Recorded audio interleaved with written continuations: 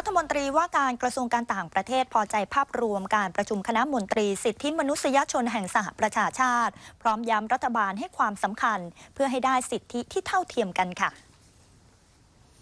พลเอกธนศักดิ์ปฏิมาประกรณ์รองนายกรัฐมนตรี และรัฐมนตรีว่าการกระทรวงการต่างประเทศกล่าวว่า รู้สึกพอใจกับการเดินทางมาประชุมระดับสูงของคณะมนตรี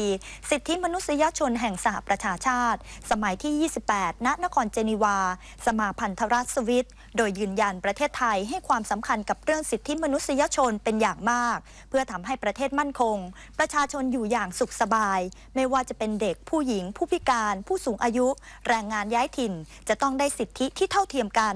รวมไปถึงแรงงานต่างด้าวที่เข้าเมืองโดยผิดกฎหมาย ก็ได้จดทะเบียนอย่างถูกต้องถึง1ล้าน6แสนคน ซึ่งเรื่องนี้ได้รับความชื่นชมจากนานาประเทศ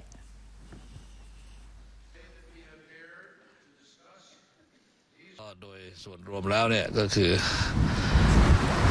เป็นที่ที่พอใจรวมทั้งผมก็ได้มีโอกาสพบกับข้าหลวงใหญ่ สิทธิมนุษยชนหัวหน้าสำนักงานยูเอ็นที่นครเจนีวา แล้วก็ผู้อำนวยการเกี่ยวกับการโยกย้ายถิ่นฐานนะครับ ก็นอกนั้นก็จะเป็นรัฐมนตรีต่างประเทศ แล้วก็นายกรัฐมนตรีฟิจิ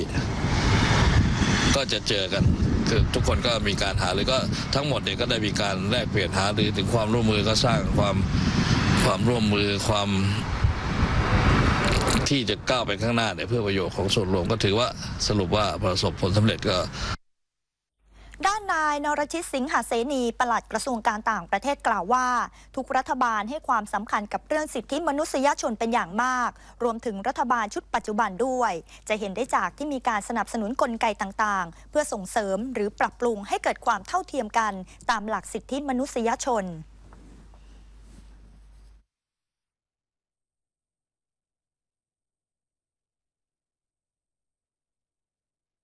จากเดิมที่ไม่เคยได้ นี่คือ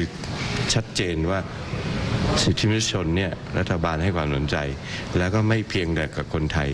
แต่คนที่อยู่ในประเทศไทยด้วย